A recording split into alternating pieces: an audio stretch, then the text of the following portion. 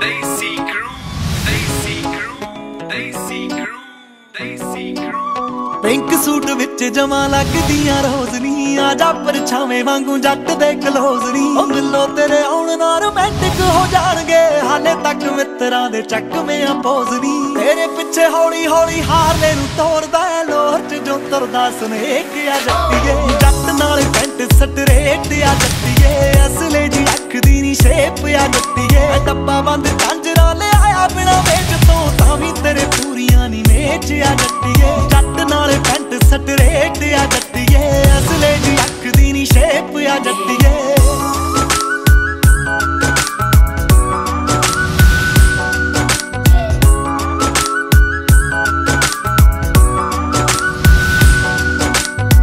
ਚੌਕਲੇਟੀ ਕੁੜੀਆਂ ਤੂੰ ਮਾਝੇ ਵੱਲ ਦੀ ਬਟਿੰਡੇ ਵਾਲਾ ਜੱਟ ਵੀ ਖਜੂਰ ਨਾਲ ਦਾ।